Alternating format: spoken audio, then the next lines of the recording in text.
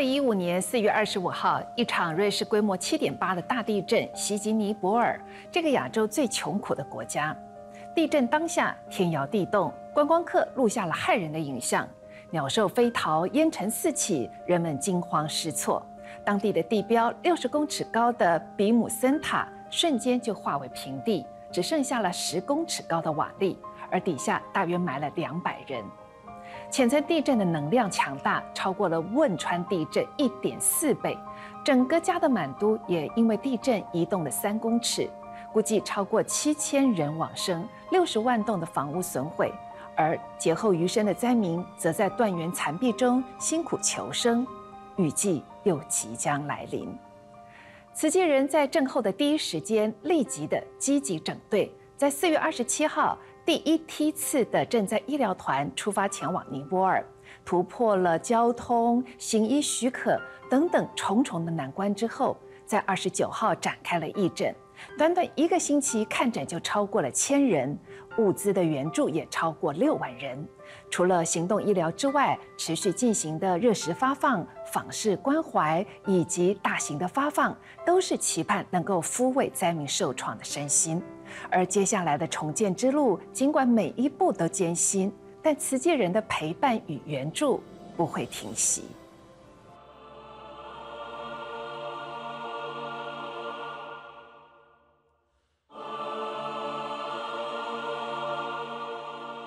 五月三号，他们诞生在尼泊尔大震后满目疮痍的灾区。双胞胎来到人世，为震后创伤的土地。带来新生的希望。这对小宝贝分别有三千公克及两千九百公克。预产期原本在地震前一周，当时是要进行剖腹的，却因为突如其来的天灾延后诞生，成了地震宝宝。台中慈济医院麻醉科医师林昌宏在正在义诊过程中和当地医师合作。共同为这对双胞胎接生，也透过脸书分享了这份喜悦。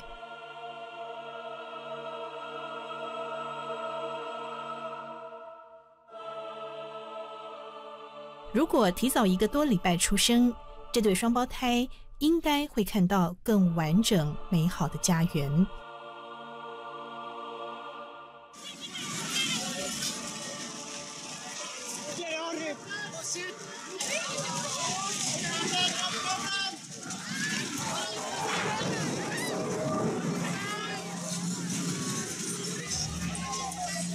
但就在二零一五年四月二十五号，一阵天摇地动，震毁了古国的乐土。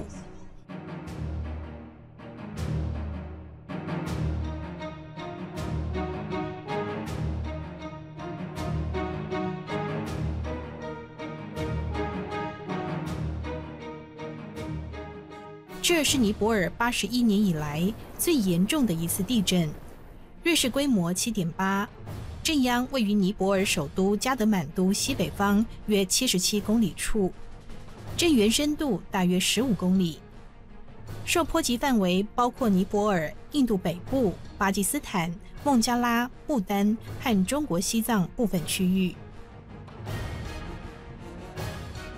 这起地震主要是因为欧亚板块和印澳板块互相挤压碰撞所造成的。而尼泊尔境内更有超过九十条断层经过，地震阴影始终笼罩不散。过去几次地震，以一九三四年的死伤最为惨重，而这次的则是最靠近首都加德满都，死伤人数持续攀升，官方预测数字更是让人心寒。There may be ten thousand people to be dead. It is supposed. But we wish it not have to be in that number. The final number will be at the time when we will complete to, to remove the debris and find out what the result. 尼泊尔境内多是木造砖砌的房子，经不起大震摇晃，瞬间崩碎成瓦砾堆。加德满都在一九三二年新建的百年古迹。九层楼的比姆森塔，以及距离首都十三公里的阿克塔普尔古城，顿时成了废墟，如同轰炸过后的场景。根据联合国统计，尼泊尔一共有六十万栋房屋在大震中毁损，超过两百万人流离失所。从空拍画面可以看到，加德满都许多原来的空地都搭满了帐篷，画面上密密麻麻的红点就是帐篷分布的区域。尽管如此，能收容的灾民却不到四万人。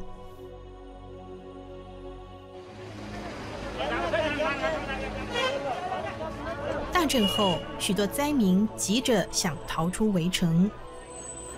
你看到有人抱着自己那个很粗糙的地毯啊，拿着破的锅碗瓢勺啦、电风扇啦，还有人抱着两只鸡啊，那个就是逃难，真的是逃难。而各国救难人员却忙着进到重灾区救人。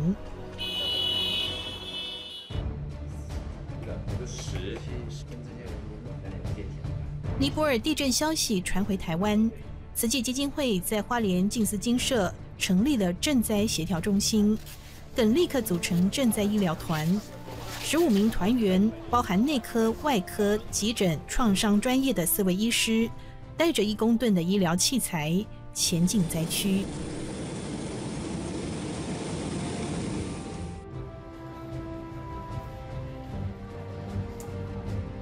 但这趟路曲折重重，超过一吨的医材。这个尼泊尔航空转给太行啊，这是个大问题。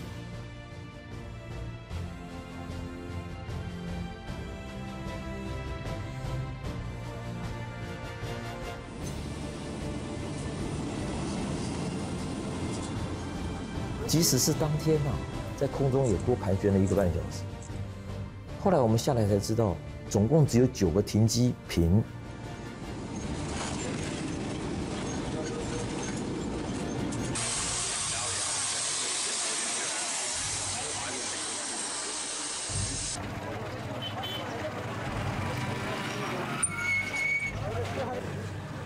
慈济赈灾医疗团一踏上尼泊尔国土，看到的全是尘土飞沙。那他们就向我们要口罩，那单第一个给啊。那么后来就一直来，因为当地土砖的房子倒了之后，非常多的沙尘，那个风一吹，就是风沙非常的大，然后他们眼眼睛非常的不舒服，所以来需要眼药水的人也很多。我现在脑海里还是那个很大的风沙、很大的灰尘，还有很大的喇叭和噪音。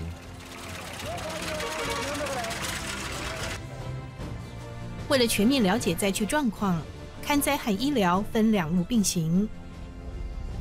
义诊团首先来到巴塔普古城的健康照护中心，并配合行动医疗车巡回。看灾团则是走访了巴塔普及距离加德满都一个小时车程的卡布列，深入了解灾民需求。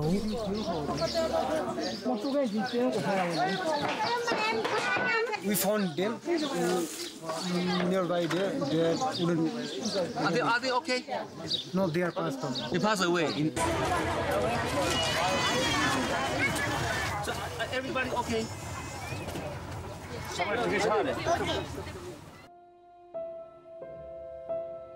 正在医疗团辗转，好不容易取得了尼泊尔健康与人口卫生部所核发的准证之后，立刻拜会当地医疗院所，确立义诊地点。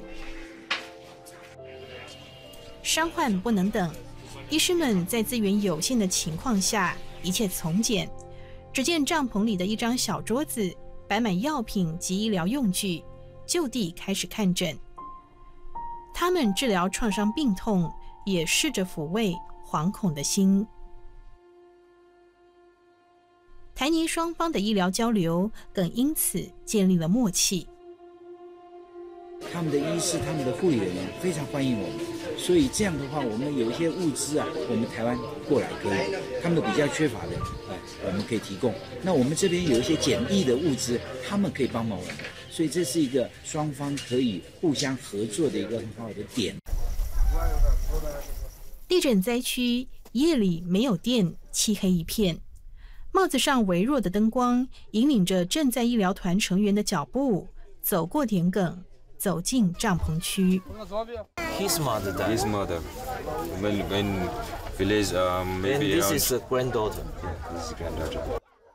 想要去义诊，在那个点，但是我想先知道他们有没有什么特别的情况，所以前一天晚上我先去探看一下，跟跟我们的团员。那到了那其实就黑了，那还好有这个帽子，那么可以给我们，因为那个地方都没有电，那个帐篷晚上是黑的，所以还好有这个帽子，呃，可以说是照亮了我们前面的路。这顶帽子小兵立大功，甚至还成为手术台上的明灯。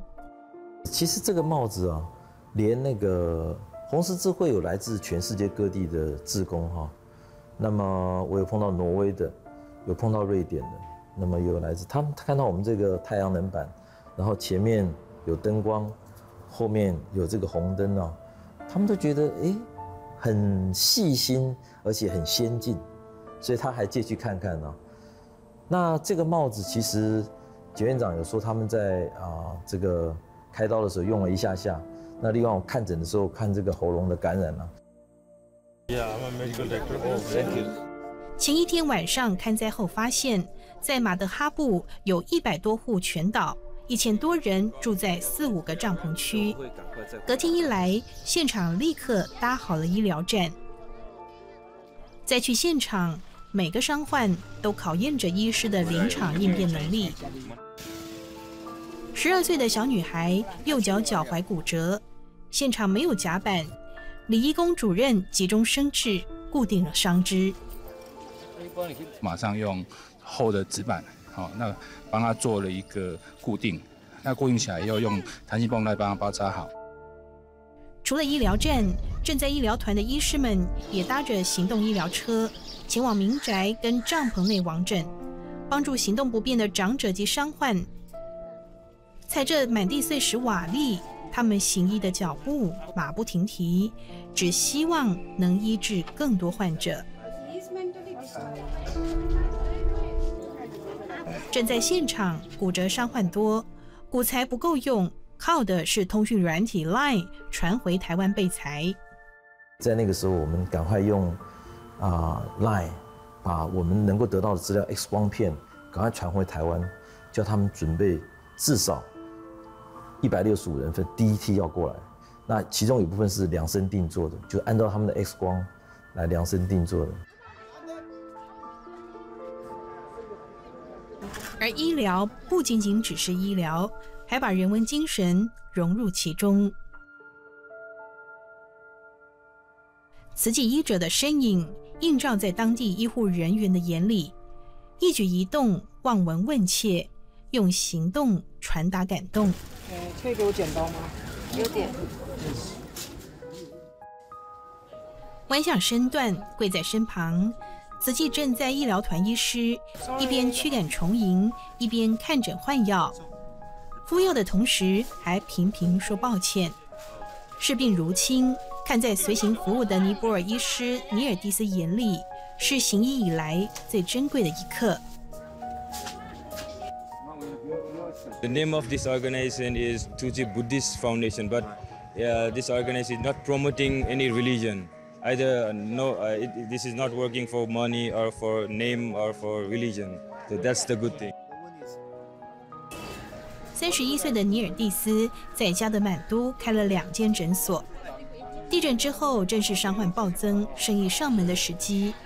但他这十天来，宁可让自己诊所关门歇业，也要跟着台湾来的蓝天白云身影，深入灾区救人。我可能需要做一个简单的，有些味道。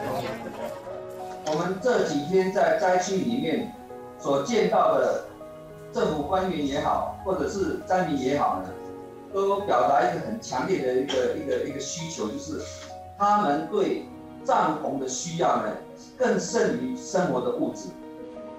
透过视讯，赈灾医疗团随时把最新讯息传回台湾，以调整赈灾脚步。深入灾区，难行能行，靠的是爱与勇气。这都是爱的能量哈在支持了啦，天天应该都很幸福哦哈。那路已经走走，而且也在铺，边铺边走路哈啊，真的很感恩呐，姻缘有成熟。不过虽然姻缘成熟呢，最好还是要谨慎用心。无家可归、深陷困境的灾民，需要的也许只是一碗温暖的热食。五月三号，在尼泊尔巴塔普帐篷下，慈济香积站正式开张。负责烹煮的有十位当地灾民，他们以工代赈，为震后同样苦难的同胞端上热腾腾的餐食。三十几个人里面呢，把年轻会英文的又愿意投入当志工的人呢，编成三组，两组参加访视，然后另外一组呢是本土志工配合印尼的志工，在帐篷区煮香鸡饭，然后希望透过煮香鸡饭的这个机会呢，招募当地的乡亲灾民们哈，来培养这个煮香鸡饭的人民出来。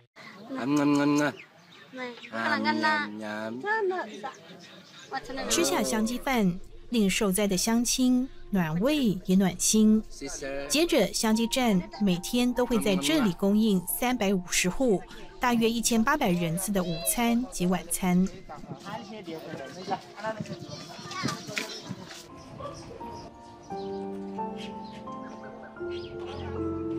震后，尼泊尔的景象依旧满目疮痍，但尼国政府在五月四号。却对国际救难队下达了逐客令，四千多名救难人员已有半数撤离。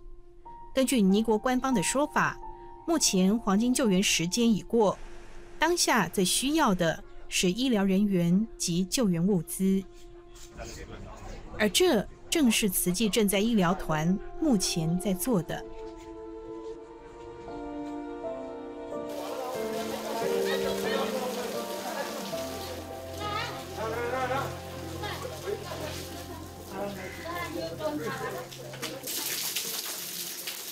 随着雨季即将到来，灾民的日子势必更加艰辛，生活物资的需求越来越迫切。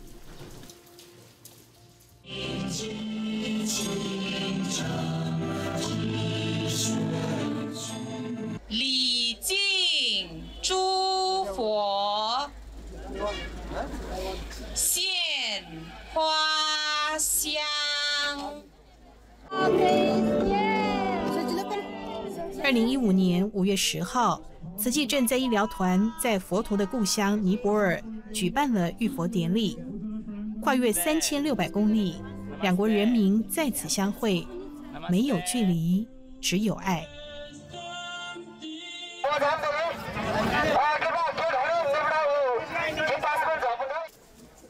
这一天，同时也带来了灾民最需要的物资，发放名册，预定两千八百户。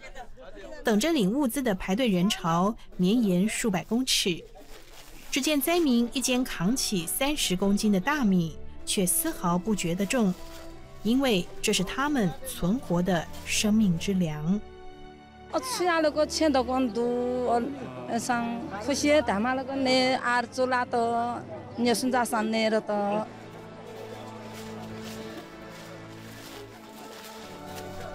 为期三天的发放只是开始，未来重建的漫漫长路，慈济人将会一路相伴。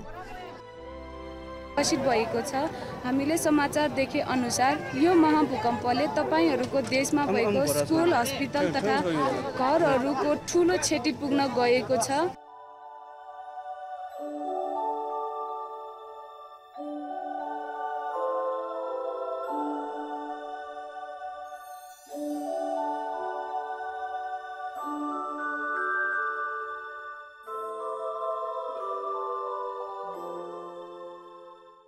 尼泊尔是个山国，国土面积有十四万七千一百八十一平方公里，大概是台湾的四倍大。位于南亚山区，北边是和中国大陆的西藏接壤，而其余三面都和印度为邻，深受西藏佛教和印度文化的影响。境内山峦重叠，光光是山地的面积就占了全国面积的四分之三。而世界十大高峰中就有八座是在尼泊尔境内。尼泊尔也是佛陀的故乡，伦比尼是佛陀的出生地。不过，佛教并不是尼泊尔主要的宗教。尼泊尔有八成人口是信奉印度教，而佛教徒只占了一成。但是受到了这两个宗教的影响，尼泊尔的街头经常可见到各式的庙宇寺院。首都加德满都就有“满天神佛之都”的称号。喜马拉雅山，世界第一高山，它是传说中众神的住所。尼泊尔位于喜马拉雅山脚下，一个受众神庇护围绕，也是最接近天堂的国度。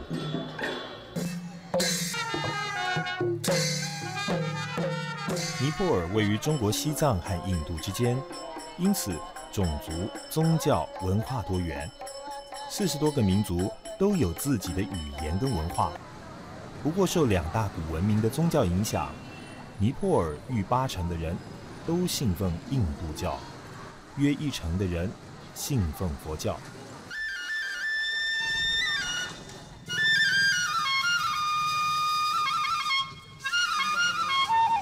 西元前六世纪，尼泊尔人就已经在加德满都一带定居，是亚洲的古国之一。苏瓦扬布拿佛塔、博拿佛塔、加德满都杜巴尔广场。都被列为世界文化遗产，但这些古老文明一样受不了强震来袭。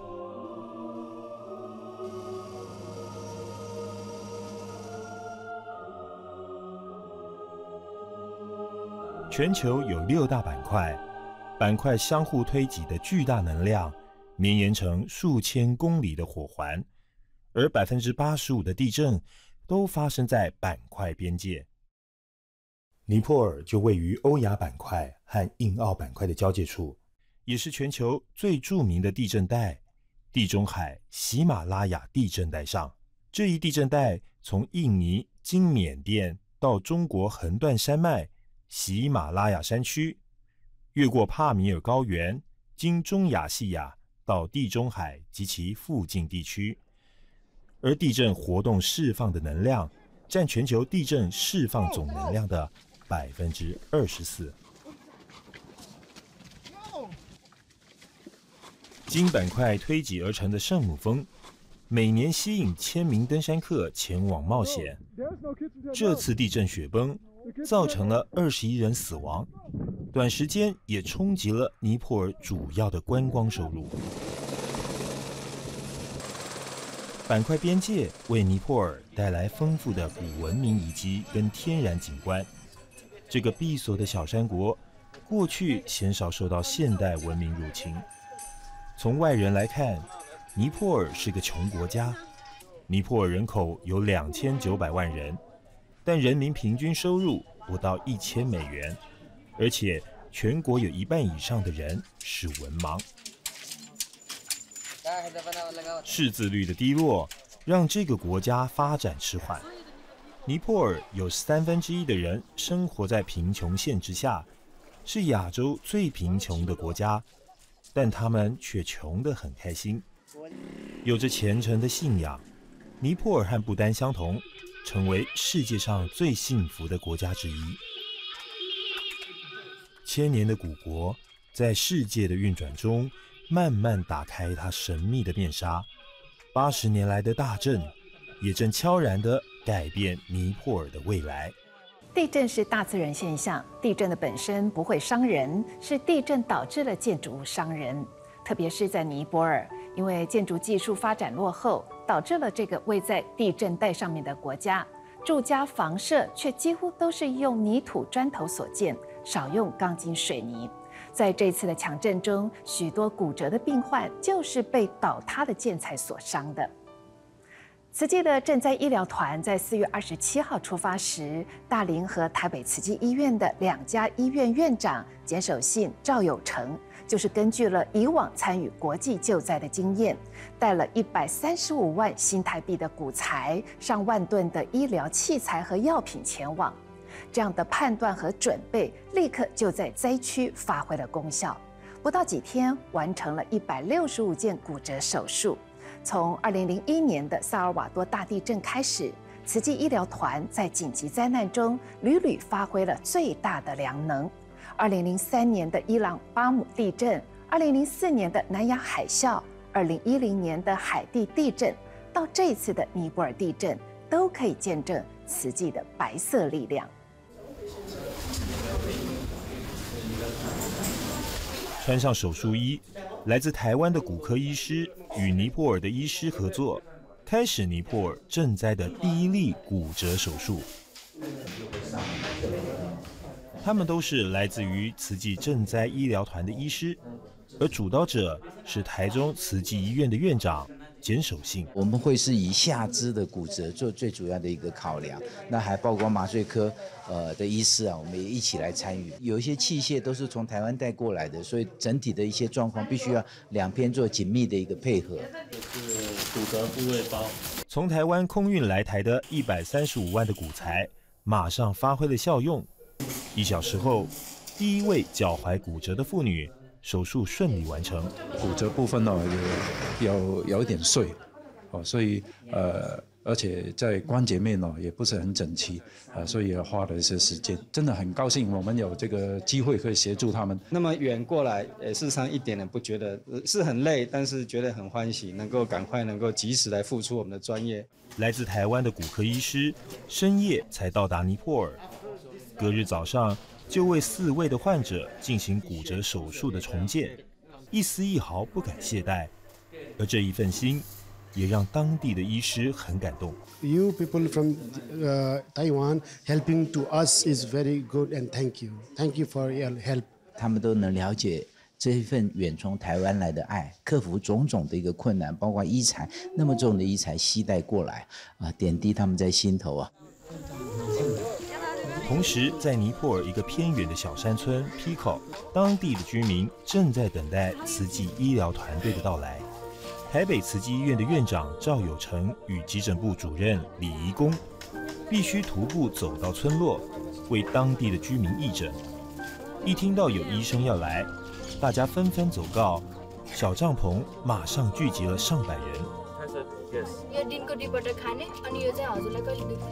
主攻内科的赵有成担心居民会因地震产生的大量尘沙产生喉咙痛、眼睛痛等症状，带了许多的药品深入更偏远的村落。就一个长板凳啊，然后一个小桌子上面摆药。那板凳呢，我坐旁边就坐个病人。那些去的护理师用站着，那那个护理生呢，就是半蹲或者蹲在地上帮我翻译。就这样子，从十一点半看到一点半，外面还很多人在排队，我们都没有吃饭。赵有成在二零零八年加入慈济后，也参与了缅甸的纳吉斯风灾跟菲律宾海燕水灾等国际赈灾义诊，以前都是处于后援医疗。这次尼泊尔地震，他参与了第一梯次的赈灾医疗。感受特别不同。之前已经有啊，慈济志工去了解了很多情况，包括看诊的地方，他们布置好了啊，什么东西都摆好了，明天就会有多少人来看。那医生是以发挥专业为主。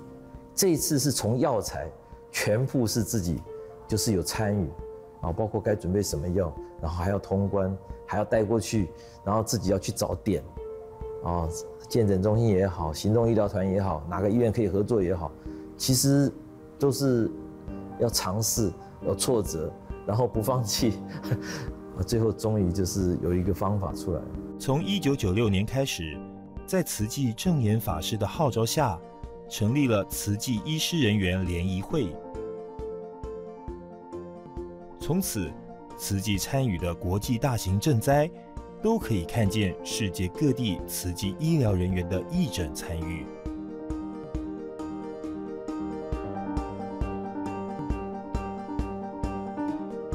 这两天都在为萨尔瓦多、印度的灾难在忙碌，尤其是萨尔瓦多，我们的工作同仁还在里面。现在不仅我们第一团、第二团啊已经进去义诊赈灾，第三团呢，昨天晚上和今天早上又进去了。二零零一年一月三日，中美洲的萨尔瓦多发生了瑞士规模七点六的强震。台湾及慈济美国总会五位医护人员组成勘灾小组，备妥医疗用品及物资，进入萨国勘灾救援。而他们成为基金会首批的勘灾医疗并行的人员。在地震发生后的第三天，正言上人立即指派宗教室副主任谢景贵师兄，结合美国的慈济人，率勘灾团及中华搜救总队进入灾区。分头进行灾情评估和救难的工作。二零零三年十二月二十六日，伊朗古城巴姆市发生瑞士规模六点七大地震，全市超过五万人死亡。一抵达地震灾区伊朗卡门机场，慈济看灾团的医护人员随即遇到大量病患后送，在急救过后，担架上的伤者最后还是往生。为了不让这份遗憾再发生，这台看灾车就是最现成的活动诊所。二十八日，当时花莲慈济医院急诊部主治医师郭建中和副护理长涂炳旭接获通知后，第一梯由台湾医护人员组成的慈济赈灾医疗团。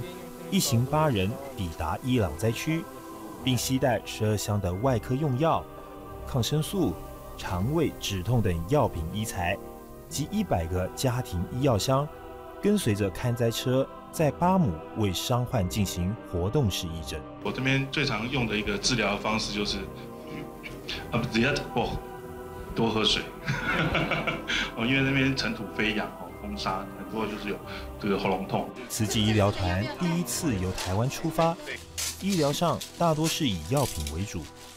地震当日所发生的骨折等专业性的重大外伤问题，较不能马上处理。他说，呃，台币四百万啊，已经没有了。他他的财产在那边，四百万台币已经没有。别了是啥？但是最重要，你很平安嘛，对不对？而随着慈济的看灾巴士随叫随到的医疗服务，另外也规划有医疗专区。每到一定点，志工们会沿着帐篷发放物资，也将需要医疗服务的灾民带上车诊疗。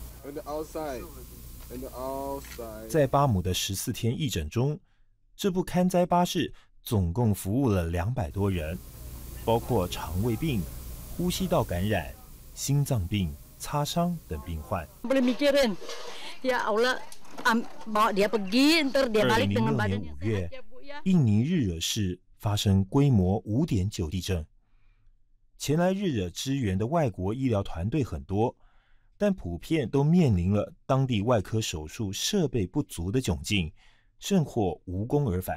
而慈济从台湾及雅加达义诊中心吸来外科器械，当时任大林慈济医院的副院长简守信即刻在当地进行手术。开刀房这里是先先用他们的产房，那也开了刀，但是问题还是有一些状况，我们必须去适应。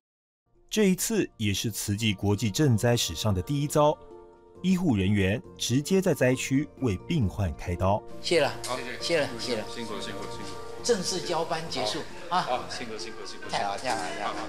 加油！加油！在那样困难的环境之下，团队合作的精神相对就重要。所以医护之间的一个合作是比我们要来得好。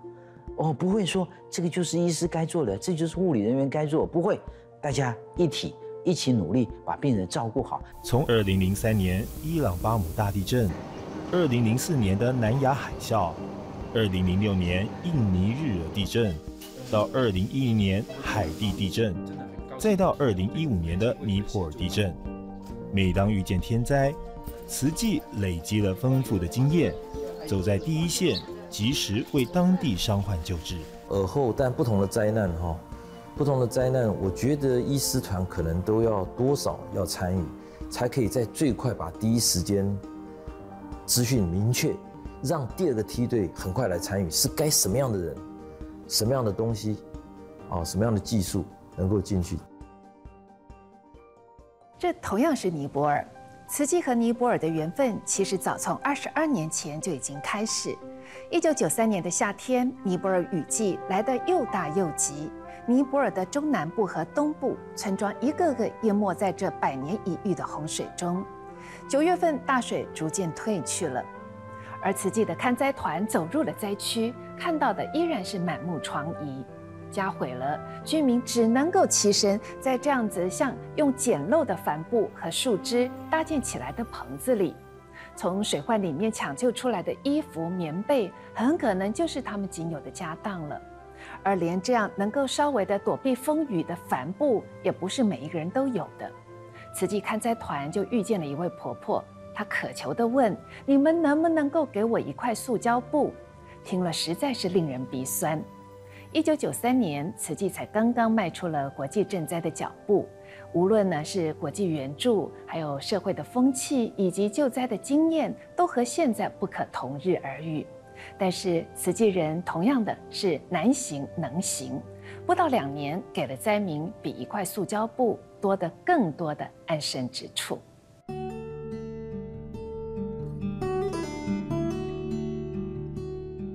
同样在尼泊尔。六月向晚的阳光，把归心似箭的身影拉得更长。两年来栖身简陋帐篷，甚至露宿街头的灾民，拿着钥匙和权状，迫不及待地寻找属于自己的那一户。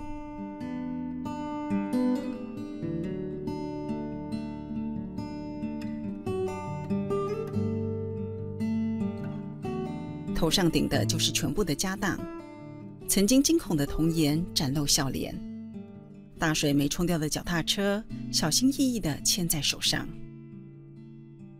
老奶奶带大家参观新居，看到卫浴设备笑开了，摸摸坚固的门窗，一直说再也不怕大雨侵袭了。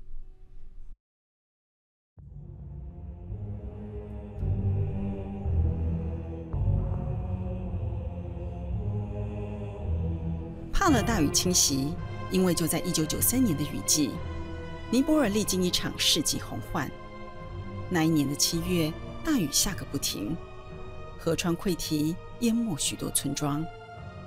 八月大水又来，数十万人被迫远离家园。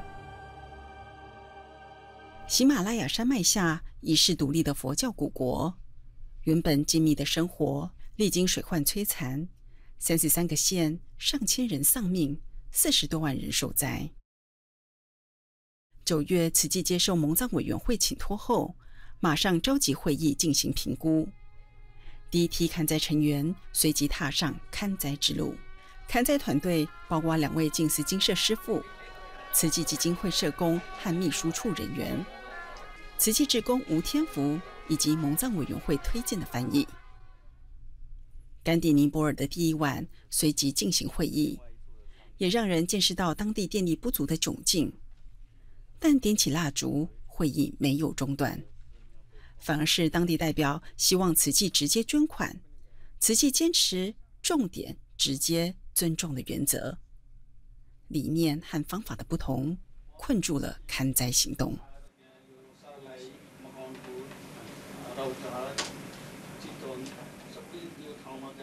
经过反复沟通，第三天，慈济人才终于获准进入灾区。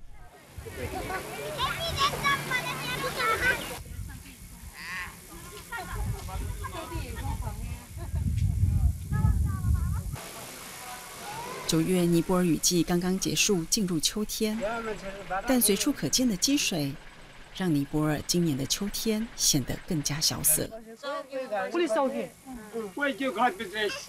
灾民满腹心酸，但有衣有被，有简单餐具可用，都算是好的了。泥泞的道路，有车也行不得，许多地方还得涉水而过。浑浊的泥水，灾民用来洗头。原本就清贫的生活，灾后更加简陋了。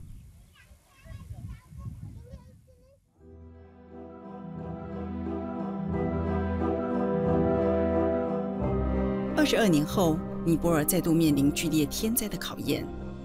七点八的强震，随着死伤讯息不断传出，台湾花莲警司金社在隔天立即成立赈灾协调中心，分工掌握情况。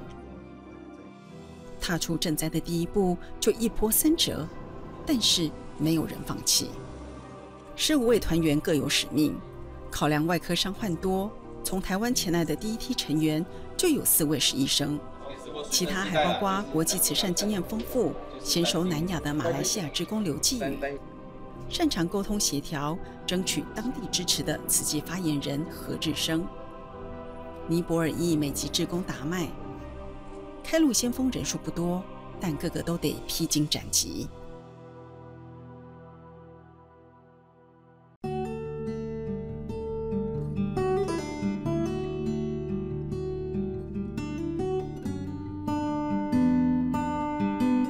时间回到二十二年前，看灾成员更少。当时慈济人主要的国际赈灾经验是一九九一年为华中、华东灾民盖房子。尼泊尔灾民同样需要一个家，但语言文化背景不同，考验接踵而至。除了亲自看灾、直接建房，一一寻地找包商，在尼泊尔都是前所未有。慈济人只能不断拜访说明，终于获得信任。当年年底，和尼国政府完成签约新建大爱屋，隔年二月，第一批大爱屋动工。当地人参与盖新家，四十五度的高温下，没有人喊苦，包括妇女都拿着炒锅装水泥，往头上一顶，再重的搬运都难不倒。我想由由镜头上面这个画面就可以知道，说我们整个这个救实际的救济方案，为当地带来很多就业的机会。他们的排水沟，排水沟目前是暂时做到这个进度。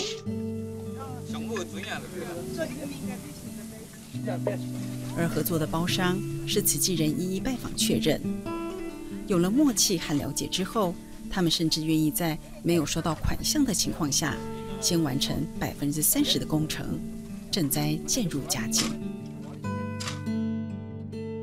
累积了丰富的经验，二零一五年的赈灾医疗团一开始就让慈善的脚步与当地政府密切合作。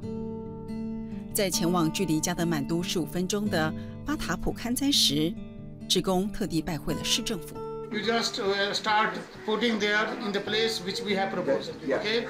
The second thing is you just propose us that we can provide you so many numbers of camps. Sure. And then we will uh, request to the Ministry of Finance for their consent. Then we will communicate you, and you can start the process. 慈济提供以工代赈，鼓励灾民站起来，也让看灾赈灾更加顺畅了。Just we are collecting our name name of the people and uh, houses That uh, they caused damage by earthquake. And our member of the uh, member of the our society. 这些人来的今天呢，我们就让他们分组到不同的那个那个社区里面呢，去帮我们收集灾民的名单。而且这些本土职工不只是这一次帮我们收集名单，我们未来的发放这些呢，也将是我们的一些 一些种子。不论是慈善或医疗，有了当地政府和民众的认同与帮忙。受灾民众获得澳元的日子也就更近了。早年赈灾凭借的是一念悲心，用时间展现诚意。贵国提供土地，我们提供建屋的资金，共同合作。我们诚心的希望每位受灾人民，住进新家园之际，建立新社区的生活规划。保持良好的环境及生卫生习惯，而成为全县区以及甚至于全国的新设计的一个模范。慈济为尼泊尔水患灾民新建的大爱屋，第一批动工半年后就交屋，总工期十六个月，在三个县、四个村等重要的灾区，援建了一千八百户。每一批大爱屋交屋典礼都很慎重，当地官员、合作厂商。都是爱心见证，当然最高兴的就是这一张张等待搬迁的脸庞。二零一五年，尼泊尔强震，正在医疗刚刚开始，广布全球的慈济职工从各地出发，慈济人得以快速进到灾区。多年的赈灾成果，让慈济获得印尼军方澳元，让赈灾物资可以在灾后混乱的第一时间送达需要的地方。Bagus sekarang sudah ada tim dari Taiwan udah masuk. Mereka sudah survei kemarin, udah lihat apa yang dibutuhkan di sana seperti pen pen tulang itu banyak yang dibutuhkan, tenda, uh, ranjang ya, seperti makanan. Itu yang penting ya kita yang mereka minta kita utamakan dulu lah. Karena keterbatasan tempat juga ya. Kalau bisa empat lagi kita mau akan bawa lagi sebanyak-banyaknya bisa mau teman 13 ton. 印尼军方运来这些大帐篷，灾民生活空间变大了，小姐妹也因此有了心情打扮。 पानी चुइन्थ्यो कति गडबडी हुन्थ्यो दिउँसो पनि गर्मी धेरै हुन्थ्यो 在台湾这端，后援物资不断准备着，赈灾人员也依序分梯接力。每天的视讯会议， 让在台湾的赈灾协调中心和灾区零时差。灾区需求、讨论和决策，透过科技，能为每一位灾民多争取一分钟。千万灾民就是千万分钟，救灾不能等，难行不放弃。尼泊尔观光客眼中的世外桃源，闻名世界里的佛教古国。几场的连续暴雨，几秒天摇地动之后，人间仙境马上成为灾民的炼狱。这只是一个借镜，同样的事发生在哪里都一样。就在尼泊尔强震的一周前，大约有五十位来自于全球的地震与社会科学家，才齐聚在尼泊尔的首都加德满都，商讨如何应应大地震。可惜缓不济急，灾难总是说来就来，天灾地变从古至今没有停过。慈济人用爱填补，无论灾难发生的地点有多远，不论种族、宗教。慈济人都努力走在最前，陪伴到最后。一次又一次经验的累积，慈济赈灾动员越来越迅速也专业。因为亟待生源的手不能够等待，走在最前总是要披荆斩棘。无论有多困难此际人难行能行只因一份不忍人之心。